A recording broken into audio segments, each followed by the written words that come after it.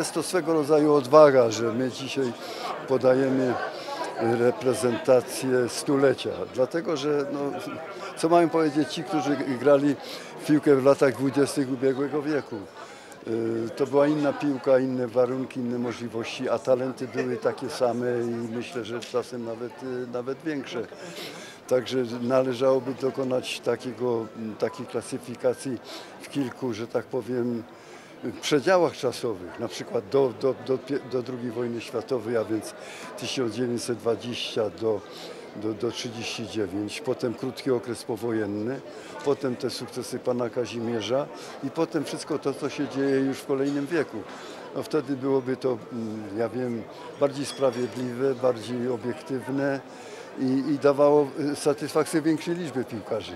No bo co mają powiedzieć tacy panowie znacie, legendy Warszawy jak, jak Lucjan Brychczy, jak Edmund Dziętara, jak na Śląsku bramkarz Edward Szymkowiak, jak, jak Stanisław Oślizło, jak Roman Korynt z Gdańska. No jest, jest to cała plejada wielkich piłkarzy, którzy, którzy zasługują na to, żeby, żeby w tej reprezentacji być, ale, ale przegrywają z aktualnymi.